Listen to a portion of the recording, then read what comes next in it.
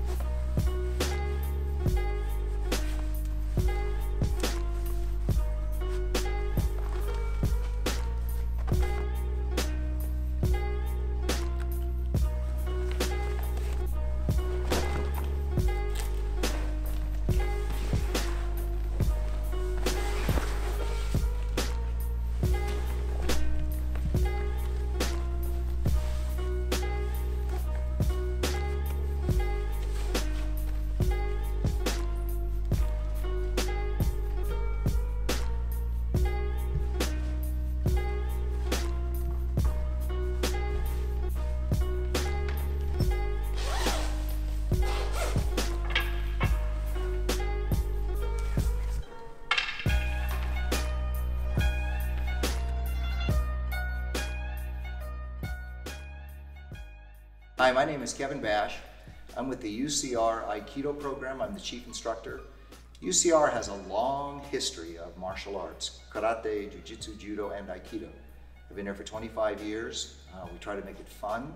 Uh, we try to make it accessible, and also we try to put quality into it. Now, there's two kinds of Aikido.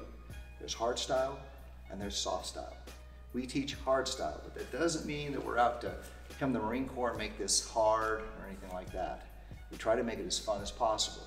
That said, we actually do some pretty good training here. Um, first thing we're going to do is warm up. So a lot of my students, I know you're sitting at home and you don't have anything to do, so you can sort of go along with me. You'll recognize these. For new people, just have fun. So the first thing you want to do is you want to loosen up. Just kind of get your body loose. Get your body loose. Just kind of up and down. Just kind of move your shoulders, rotate your shoulders. Just kind of twist and turn. Then the next thing you want to do is stretch the back leg because there's, there's not really a stance in Aikido, but you still have somewhat of a stance. You want to find that center. So when you're stretching and preparing to train, you want to find that center. And you turn the other side, kind of stretch that back leg, get those feet together, kind of get the knees loosened up. We do active and static stretching, kind of just turn, open up the the knees, get the blood moving. Then just stretch one side, and then stretch the other side. And then try to clasp your hands behind your back. One of the one of the key places that you need to open up is the chest, the back, and the shoulders. Ah, actually feels pretty good. Start from the top of the head, of loosen up the front of the neck, forward, sideways. And again, be gentle. It's not the Marine Corps. Nothing against the Marine Corps. My dad was a Marine. But nothing against them. But make it gentle. Treat your body well. Treat it nicely. A lot of rotation. Turn, look back behind you. Make that a good stretch. Turn, look back behind you. Then very gently begin to rotate the head. Very gently. Again, don't kill yourself. The whole goal is to be as gentle as possible on your body.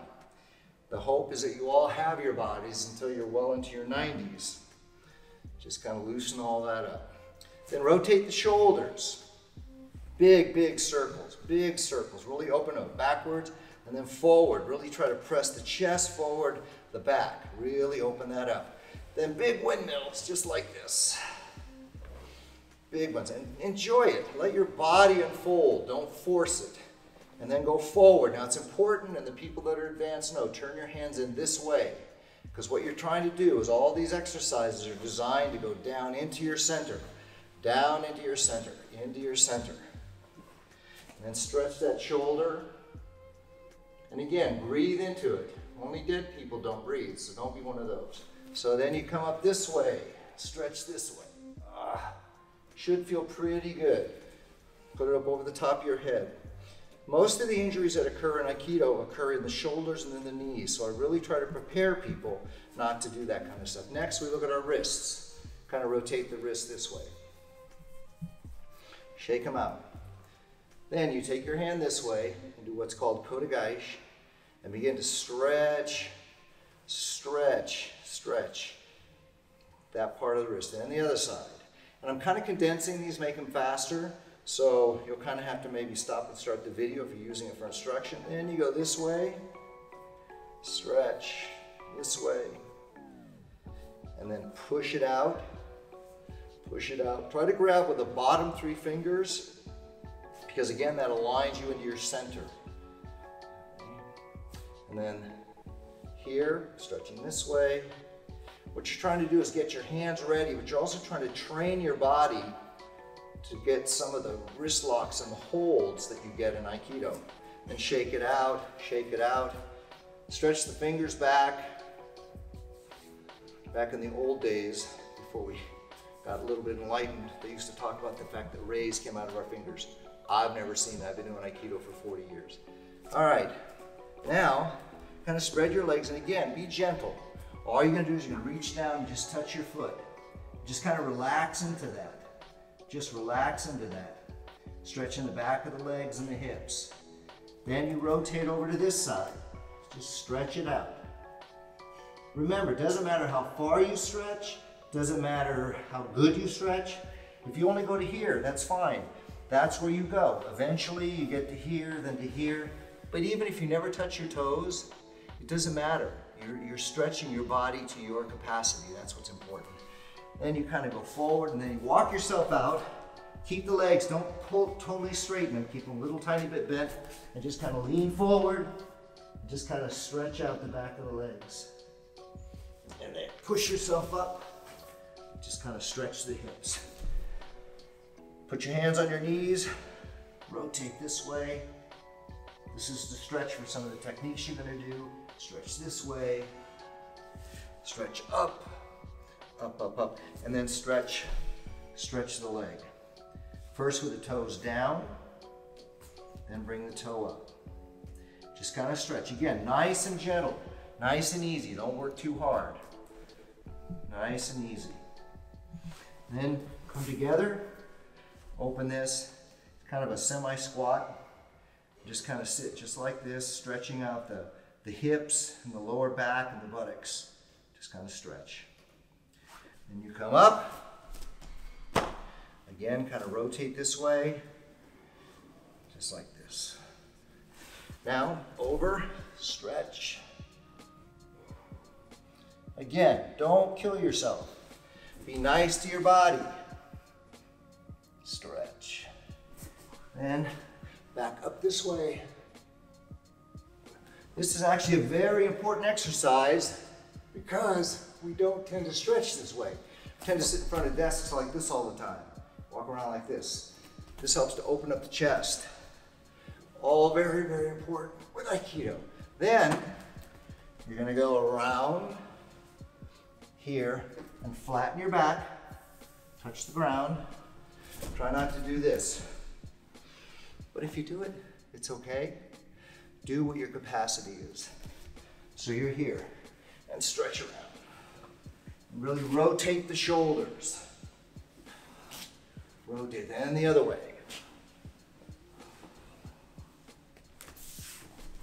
And then once again, kind of go into this semi-squat. And then on the ground. Shake everything up. First thing, let's get the feet. Ankles, loosen those up. Make sure you wash your feet before you do this.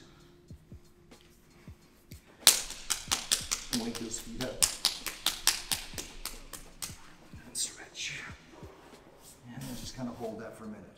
Don't totally straighten the leg. Slightly bent. And the other side.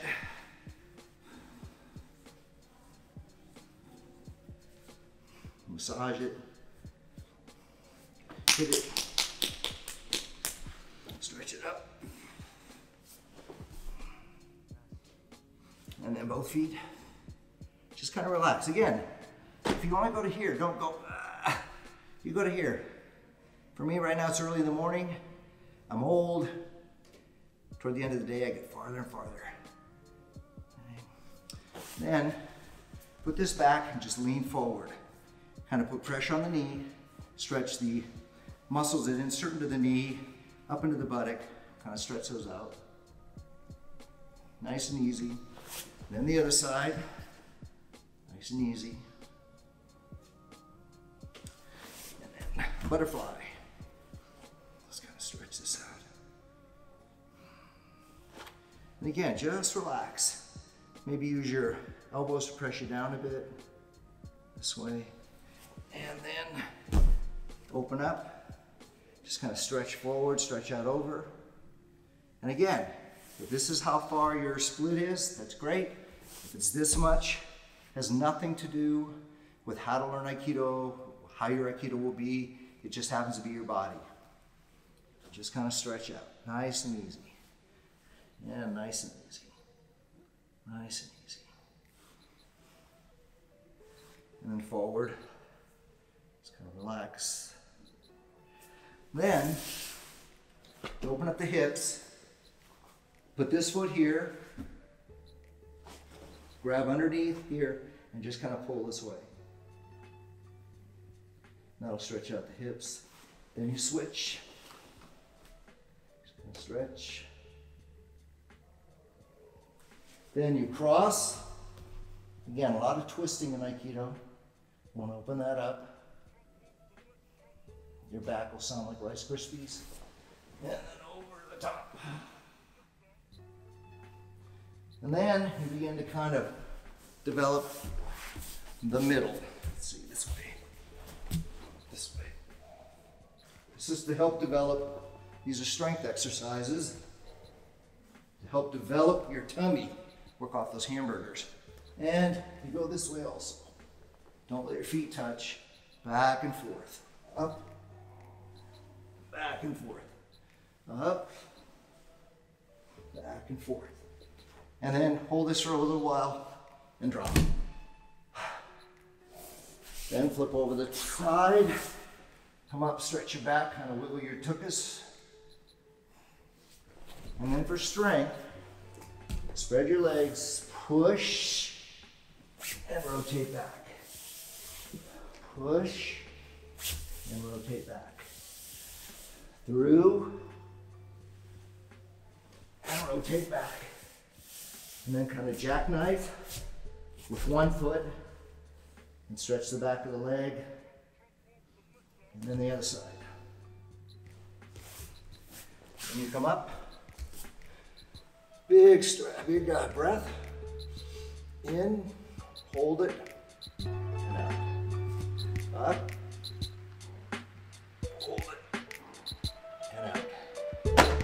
You're good to go.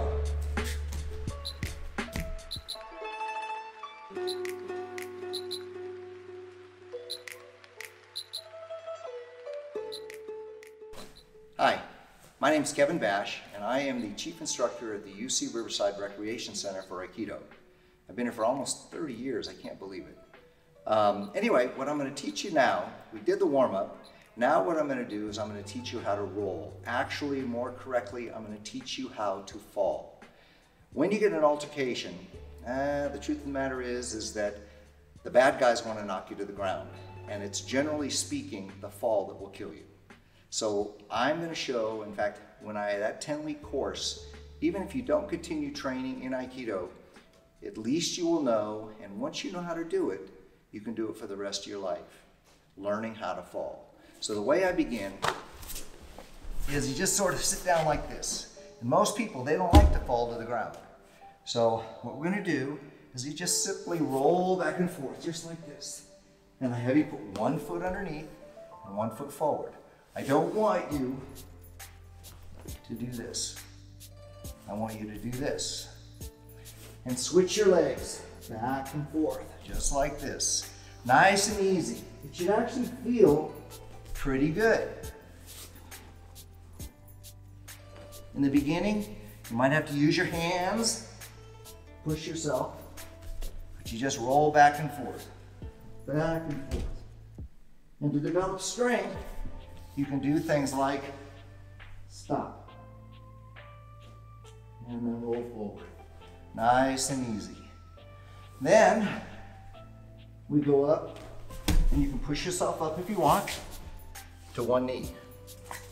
And then just sit back and push yourself up onto one knee. Back. Or you can go to the knee this way. Next, you're gonna go to standing. Standing. Back. And to standing. On the other side. Back. And then to standing. Just do that while you're watching television, all kinds of stuff. Eventually, you'll fall harder. And it's, it's the same. So that's a back fall. Now forward roll, a little different. We start you on your knees. Put your hand inside your instep. Other hand here. Lay on your shoulder. Look back under your armpit. And just follow. When you get up, right foot forward. Instep here. Forward. Eventually, roll. And eventually, that's the kind of fall you'll do. That's how you roll.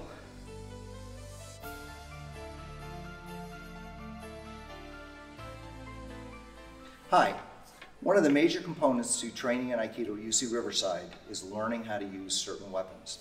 We have two here. These are the two we primarily train with, a bokken and a jo. The bokken, uh, it actually, this is the weapon you would train with prior to using a steel sword, a katana. We don't do that here at UCR because it's literally a 29 inch razor blade, but we do train with this as if it were a 29 inch razor blade. Handle, Tsuba to protect your hands, the blade, tip sometimes pointed, sometimes flat, and then you have the parry edges. Now parry's kind of deceiving because with a bokken, sometimes you'll see people blocking and stuff, but the truth is if you had a uh, metal sword, if you try to block with it, it literally would bend. So you have to be very careful. I try to train people to prepare for actually using a metal blade. Uh, it's the only sword uh, pretty much in the world that enters and leaves the body. Very specific use. Now, if you're, I'm left-handed, but when I started back in the dark ages learning how to use this going to Japan, they insisted I had to do it right-handed. So I learned to use my sword um, with the, the right hand on the bottom. But I do train people sometimes if they're left-handed to have this hand on the bottom, kind of like a, a left-hand hitter. So what's very critical is that bottom finger has to be right on the bottom of the sword. Now, interestingly enough, you may have heard of the Japanese mafia, the Yakuza. They always traditionally, when they finally want to get rid of somebody, they cut off that little finger. Well, the reason is, without that little finger, you can't control your sword. So very critical. The other hand slightly separated, a little closer with the metal sword, but it literally, this knuckle and this knuckle go on the top. And basically, when you strike, you don't want to flatten like this. It's a circle. So it's almost, these don't bend. You don't break the wrist. That's breaking the wrist. And you literally make a circle. The other thing you don't do is this. Because imagine if you're in a boxing match and you go like this, by the time you get that fist around, you've been hit in the face five times. So you want this to pretty much stay right about here. You also don't want to do this. Now, a lot of times people in the movies go, ah, well, maybe they're used to wearing a helmet. I don't know. But for me to, to strike from this point, I literally have to close my elbows to strike because people can't strike like this. So that's kind of a basic premiere of the Bokken. Now I'm going to go through eight katas that we do. And I'll go through them kind of quickly. But basically, we start this way, and we address the person pointing the tip at the uh, opponent. Here, boom, this is a, a single kata, thrust to the throat, turn, strike, boom, thrust through the throat, turn. That's one. Two looks very similar. Strike, thrust, turn, strike. Strike, thrust, turn. That's the first two. Those train you in Aikido to learn to use your hips. Number two. So you're here. Once again, I'm turning sideways so you can see. Turn. Step forward. Cut. Cut. Thrust. Turn. Strike. Turn. Cut. Thrust. Turn. That's number three. Four, you step back. Cut up. Cutting the person's arm off. Turn. Cut. Gets up. Jab to the throat. Turn. Cut. Turn. Up. Turn.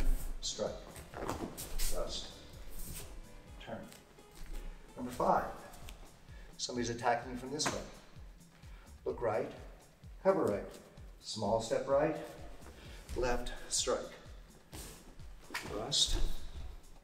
Go over your left shoulder. Turn. Strike. Cover left. Strike. Thrust. Turn. Strike. The next one you're receiving. Step. Step back. Thrust. Turn. Strike. Strike. Next one, somebody's coming from behind. Turn, strike. Thrust, turn. Thrust. Last one. Somebody's coming to hit your leg. Knock it away. Strike. Thrust. Turn. Next one. Get away. Strike. Thrust. Turn. Basic primer of the Bokken. Now the Jo, we don't really do katas by ourselves. There's some out there. But this we use to train the wrists. Wrists. And there's three basic strikes. You have shomen, shomen. You have kesa, which is an angle strike. And you have tsuki. You have certain protections you can.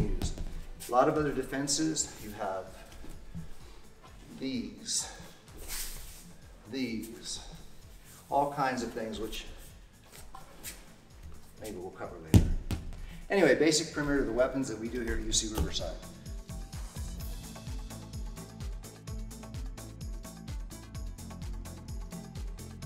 Hi, Kevin Bash again, uh, Chief Instructor at UC Riverside's Recreation Department, Aikido. Um, there's a lot of different Aikidos out there, like I told you before. There's hard style, soft style, and within that, whatever kind you like to do, that's what you should do. There's karate here, there's jujitsu, there's judo, um, there's tai chi, there's all kinds of things. You have to find the thing that suits you. What's good about UC Riverside is they really want you to participate. And martial arts, whether you do it competitively or just for fun, uh, it's, it's, it's something that will enrich your life. Uh, one of the key goals of Aikido is just to be in the moment, to be present. Now, the good news about Aikido is that there's actually only two movements. The difficulty of Aikido is there's 7,850,000 variations of the two movements. So the first one is called Tenkan. Tenkan is all you simply do is you got one foot forward. I'll turn this way. You got one foot forward and somebody's coming at you you simply turn out of the way and step back. So once again, force is coming to you, You turn out of the way and you let it go by. You practice this move all the time. All the time. All the time. What you don't want to do is jump. You want to keep your feet on the ground. Feet on the ground. Forces coming to you, turn, step back. We practice all the time. It comes from the hips. It comes from the hips. Second move is just as simple, and all you're doing is somebody's coming at you, they come by, you step, and you just slip, get out of the way, and your feet kind of make a T. Step, turn. Step, turn. Step, turn. Step, turn.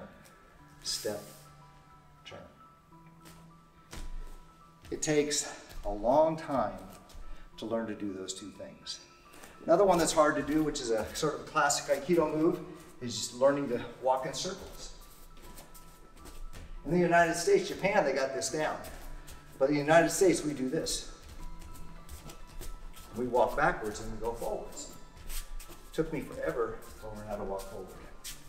And again, force is coming at you. You learn to join it. Basic principle of Aikido is you're in the moment, you join the attack. You bring the attack into you and you give it back to the person, which actually is what you do in boxing and pretty much every other martial art. It's just we put a name to it. Anyway, hope you enjoyed that little segment.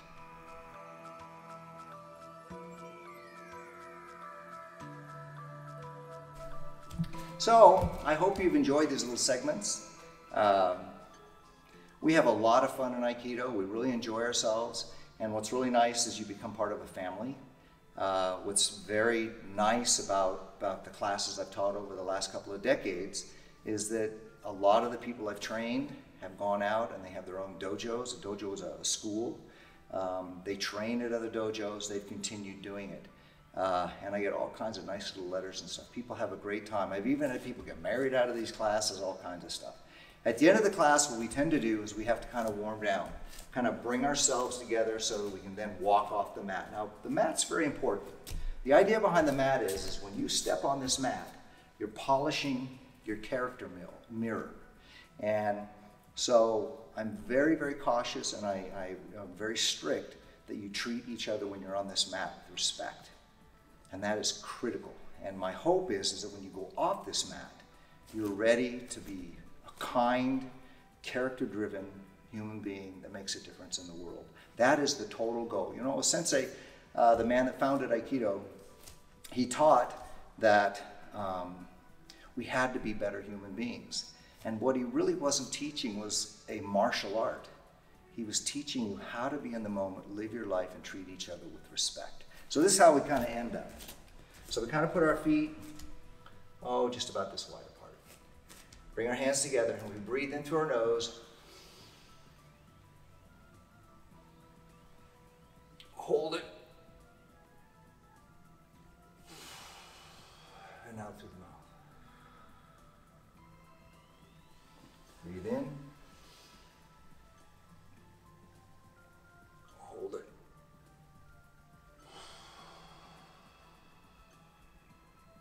Sometimes we end with a really traditional exercise. We have one foot in front, and you reach, and this is to bring yourself into your center, and you bring, like a, pull your hands into your center.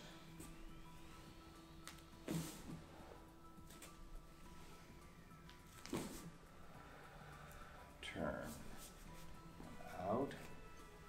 Notice I'm sitting.